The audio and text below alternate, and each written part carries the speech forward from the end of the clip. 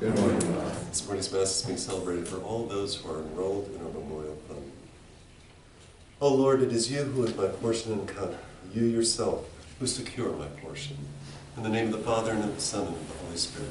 Amen. The grace of our Lord Jesus Christ, the love of God, and the communion of the Holy Spirit be with you all. And with your spirit. My brothers and sisters, let us acknowledge our sins, and so prepare ourselves to celebrate these sacred mysteries. You were sent to heal the contrite of heart. Lord, have mercy. Lord, have mercy. You came to call sinners. Christ, have mercy. Christ, have mercy. You are seated at the right hand of the Father to intercede for us. Lord, have mercy. Lord, have mercy. May Almighty God have mercy on us, forgive us our sins, and bring us to everlasting life. Amen. Let us pray. O God, who led St. Martin of Porres over the path of humility to heavenly glory, grant that we may so follow his radiant example in his life as to merit to be ex- exalted with him in heaven. Through our Lord Jesus Christ, your Son, who lives and reigns with you in the unity of the Holy Spirit, God forever and ever. Amen.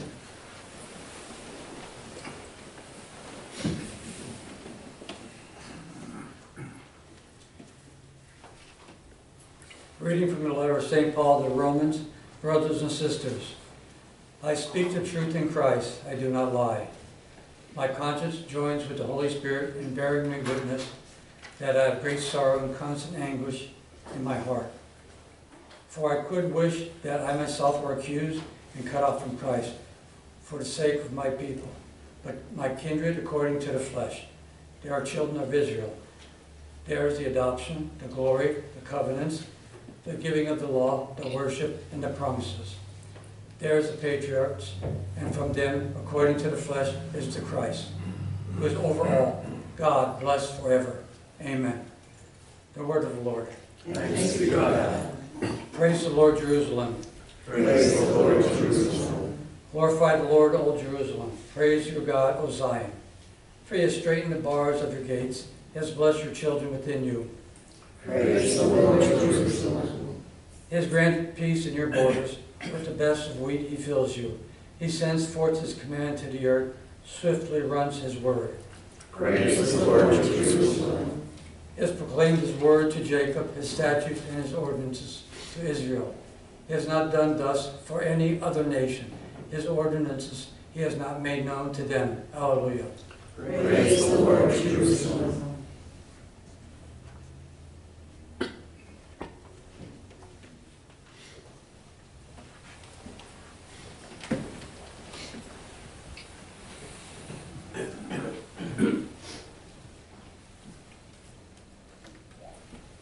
The Lord be with you. And with your spirit. A reading from the Holy Gospel according to Luke. Glory to you, Lord. On a Sabbath, Jesus went to dine at, at the home of one of the leading Pharisees, and the people there were observing him carefully. In front of him there was a man suffering from dropsy. Jesus spoke to the scholars of the law and the Pharisees in reply, asking, Is it lawful to cure on the Sabbath or not? But they kept silent. So he took the man, and after he had healed him, dismissed him. Then he said to them, Who among you, if your son or ox falls into a cistern, would not immediately pull him out on the Sabbath day? But they were unable to answer his question. The Gospel of the Lord. Praise to you, Lord Jesus Christ.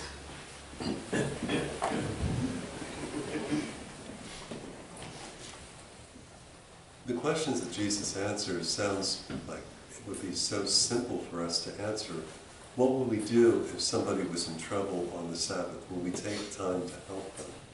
The question there, the question for today is not necessarily that as much as would we be breaking the laws?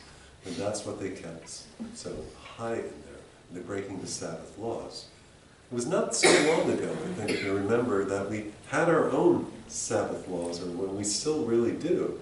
But everybody kind of cooperated with that, didn't they? And we had things like blue laws, which allowed us not to go out and do all of these extra kinds of things. But did that ever mean that we should not show our compassion, show our help for someone else? Never. Uh, today we celebrate a saint who really, you know, exemplified that so well. Exemplified Jesus' command to love in all circumstances, exemplified to love even when you did not feel that love. Martin de Porres, he was born of a Spanish nobleman and a poor slave girl, whether uh, she was African American or Native American. We're not 100% sure of her race, but either way, she was mixed, and at that time, Martin's father despised him because he looked so much like the mother. And as a matter of fact, after a few years, he totally left them on their own. They were poor. They had virtually nothing at all. Eventually, Martin learned the trade of being a barber. But that's not exactly just cutting hair. Barber was also a surgeon at that time, or fell under the medical field. And he was doing that, and he had a very, very strong faith in God. And so he so very much wanted to go and be able to become one of the Dominicans. Not necessarily become a Dominican, but just to be able to stay at their place, because there were ample rules and regulations which would have prohibited him from even entering that religious order. So he went there under the auspices of being able, I will be here, I will live here, I will do anything that you ask me, I will do all the menial things. Just allow me to be here and let me let me at least wear the robe, whether or not he officially took vows at all. And they went ahead and they did that. And so he continued to do that. And eventually they made him an almoner. An almoner is one who goes out not only begging for alms, but also being able to distribute the alms to the poor people. And eventually, because of his holiness, he was able to join the order as a lay brother, not without a lot of riff from within and without, based on the fact that he had a mixed racial background and he was uneducated, completely uneducated as well too. But he did, he did. And a few years later, he became what's called then the infirmarian there. Now, as the infirmarian, not only did he take care of all of the people, but he also did everything else under the sun. You know, he would clean, he would do laundry, he would cook, he would do everything possible. But his faith, God blessed him with so many different kinds of gifts that he was given. He was given gifts like he could, uh, like, when a plague had hit, okay? And so they quarantined some of the people in the um, monastery, okay? You're not supposed to go there at all. You don't want to spread that. Well, if they locked the doors, then that didn't prevent Martin from going there. He could walk through the doors. And he would say something like that, you know, when he was reprimanded about how dare you be able to go and do that. He said, I didn't know that my vow of obedience superseded charity. He was listening to the gospel. He really put the gospel into practice then too. He also had a, he, uneducated, mind. He was uneducated. He had a profound intellect. Not only was, were people come to him to try to solve some of their problems, whether or not they were financial problems, marital problems, and even bishops would come to him to try to untangle some theological problems. An un uneducated man, that's who they would go to. He also had a gift with animals too, as some, many did too. Probably not to many people's liking. I, I, I, read this one account where he could actually understand and talk to mice, of all things, mice and rats, okay? And so, uh, and he never bothered because he knew that they were hungry and he could speak to them. So he never bothered, you know, if they wanted to come and forage for what they needed, you know, if they came across mice, that was fine. At that time, it's not like it is today where people have pets with dogs and cats. There were dogs and cats around, but they didn't keep them as like, oh, keep in your house or whatever, they're your buddy. You would have animals, but they would be feral animals and they would pretty much stay outside.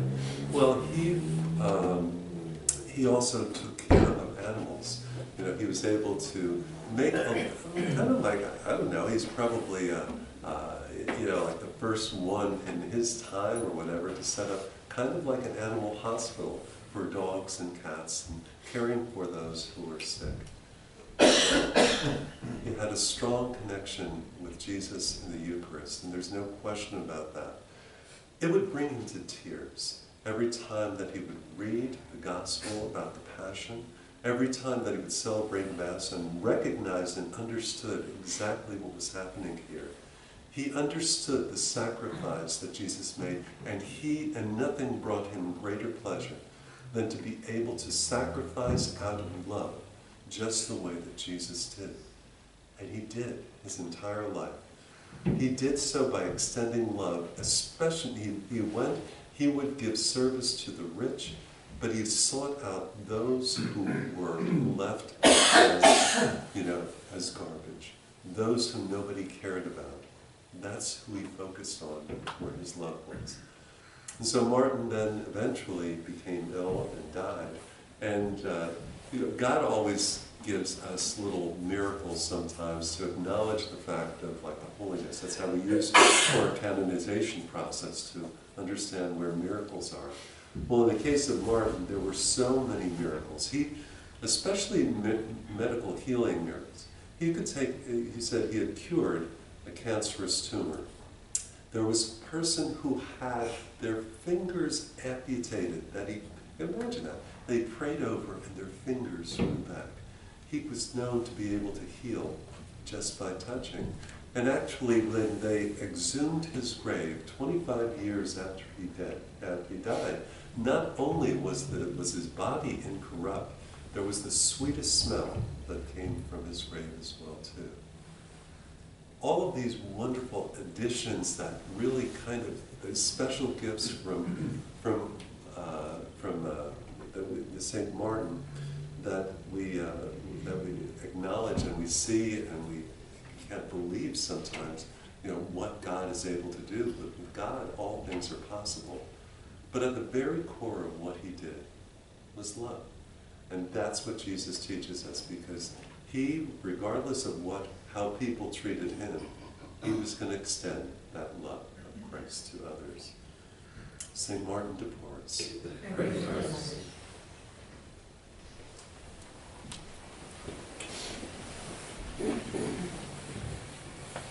We now turn to God with our needs and the needs of our brothers and sisters.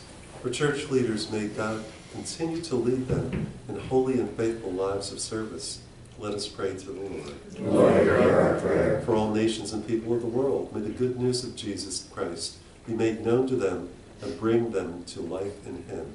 Let us pray to the Lord. Lord, hear our prayer. For those oppressed by poverty or homelessness, may God be their sustenance and strength. Let us pray to the Lord. Lord, hear our prayer. For this assembly, may the love of God which binds us to Him help us to love one another as He commands. Let us pray to the Lord. Lord, hear our prayer. For all who have left this world in the friendship of God, may they soon rest in the company of Jesus, the angels, and all the saints. Let us pray to the Lord. Lord, hear our prayer. And for our own personal intentions, which we hold in the silence of our hearts.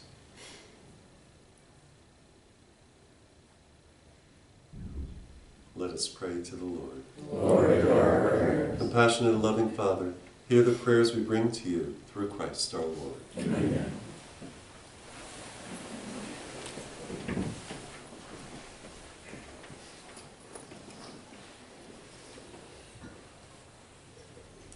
Blessed are you, Lord God of all creation, for through your goodness we have received the bread we offer you, fruit of the earth and work of human hands.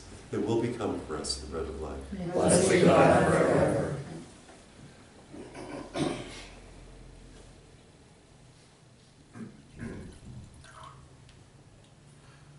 By the mystery of this water and wine, may we come to share in the divinity of Christ, who humbled himself to share in our humanity.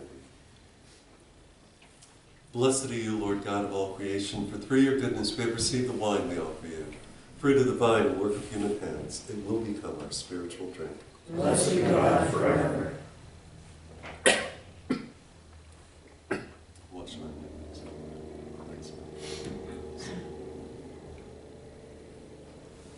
Pray, my brothers and sisters, that my sacrifice and yours may be acceptable to God, the Almighty Father. May the Lord accept the sacrifice of our hands for the praise and glory of His name, for our good and the whole holy church. Most merciful God, was p- pleased to create in St. Martin for us the new man in your own image, the old having passed away. Graciously grant, we pray, that renewed like him, we may offer you acceptable sacrifices of conciliation through Christ our Lord. Amen. The Lord be with you. And with your spirit, Lift up your hearts. we lift them up to the Lord. Let us give thanks to the Lord our God. It is right and just. It is truly right and just, our duty and our salvation, always and everywhere to give you thanks, Lord, Holy Father, Almighty Eternal God. For you are praised in the company of your saints, and in crowning their merits you crown your own gifts. By their way of life you offer us an example. By communion with them you give us the companionship. By their intercession sure support. So that encouraged by so great a cloud of witnesses, we may run as victors in the race before us and win with them the imperishable crown of glory through Christ our Lord. And so, with the angels and archangels, with the great multitude of saints, we sing the hymn of your praise, as without end we acclaim.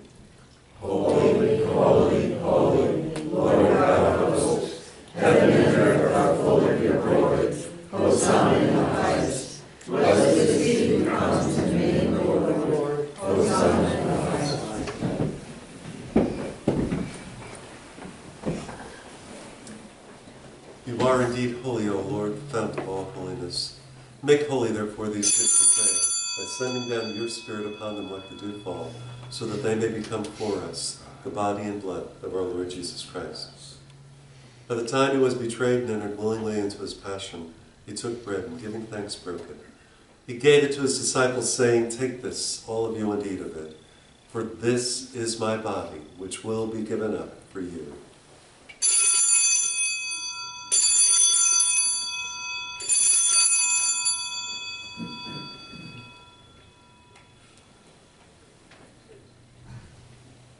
In a similar way, when supper was ended, he took the chalice, and once more giving thanks. He gave it to his disciples, saying, Take this, all of you, and drink from it. For this is the chalice of my blood, the blood of the new and eternal covenant, which will be poured out for you and for many for the forgiveness of sins. Do this in memory of me.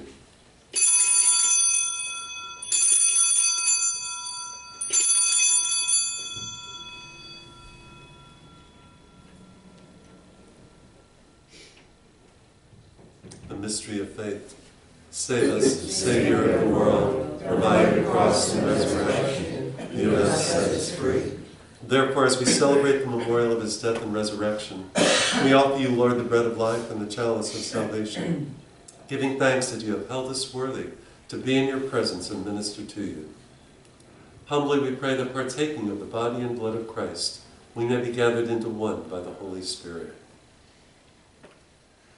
Remember, Lord, your church spread throughout the world and bring her to the fullness of charity, together with Francis our Pope and Alfred our Bishop and all the clergy.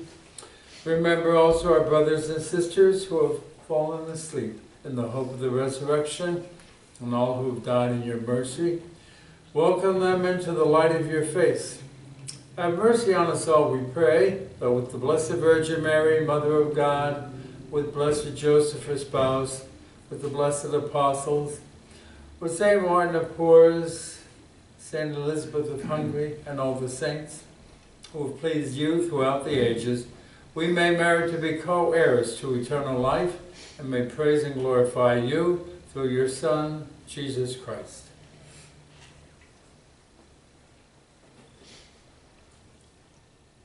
through him and with him and in him. O God, Almighty Father, in the unity of the Holy Spirit, all glory and honor is yours forever and ever. Amen. At the Savior's command, informed by divine teaching, we dare to say, Our Father, who art in heaven, hallowed be thy name. Thy kingdom come, thy will be done, on earth as it is in heaven. Give us this day our daily bread, and forgive us our trespasses, as we forgive those who trespass against us.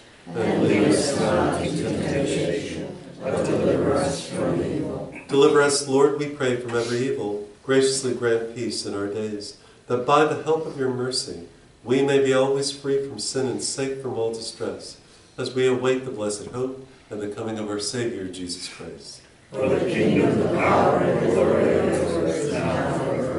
Lord Jesus Christ, who said to your apostles, Peace I leave you, my peace I give you, look not on our sins, but on the faith of your church, and graciously grant her peace and unity in accordance with your will, who live and reign forever and ever. Amen. The peace of the Lord be with you always. And with your spirit. Let us offer each other a sign of Christ's peace.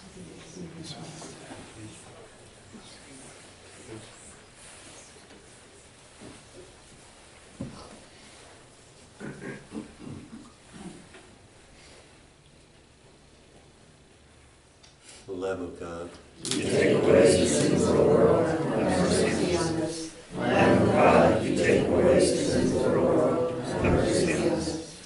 Lamb of God, you take away the sins of the world, grant us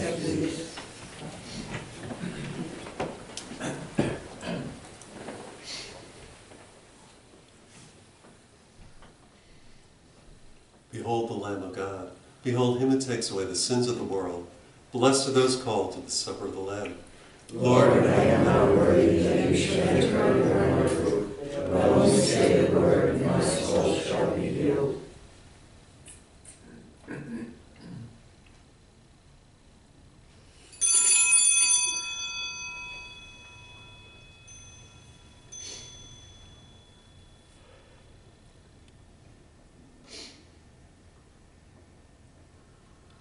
For those who are unable to be with us today or unable to receive the Eucharist at this time, we'll now pray a prayer of spiritual communion. My Jesus, I believe that you are present in the most holy sacrament, and I love you above all things, and I desire to receive you into my soul. Since I cannot at this moment receive you sacramentally, come at least spiritually into my heart. I embrace you as if you are already there, and I unite myself wholly to you. Never permit me to be separated from you. Amen. Amen, I say to you, that you who have left all and followed me will receive a hundredfold and possess eternal life.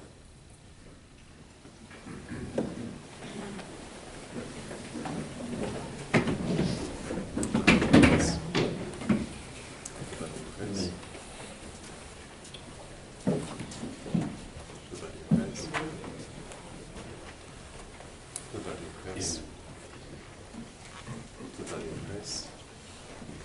The body of Christ. The body of Christ. The body of Christ. The body of Christ. The body of Christ. The body of Christ. The body of Christ. The body of Christ. The body of Christ. The body of Christ. Amen the body of Christ, the body of Christ, the body of Christ, the body of Christ, the body of Christ, the body of Christ.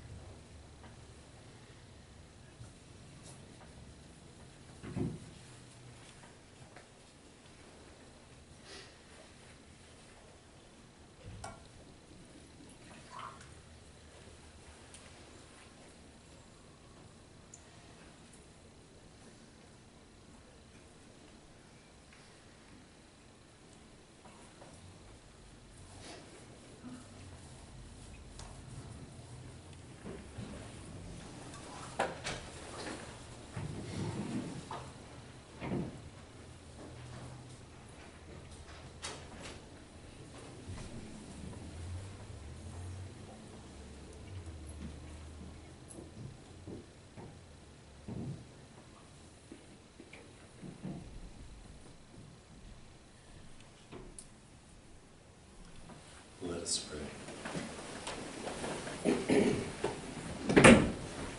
By the power of this sacrament, Lord, we pray, lead us always in your love, and by the example of St. Martin de Porres, and bring to fulfillment the good work you have begun in us until the day of Christ Jesus, who lives and reigns forever and ever. Amen. The Lord be with you. And with your spirit. May Almighty God bless you, the Father, and the Son, and the Holy Spirit. Amen. Go in peace. Thanks be to God. Saint Michael the Archangel, Defend us in battle. Be our protection against the wickedness and snares of the devil. May God rebuke him, we pray. And do thou, Prince of heavenly hosts, by the power of God, cast into hell Satan and all evil spirits who prowl about the world seeking the ruin of souls. Amen. have a good day, everyone.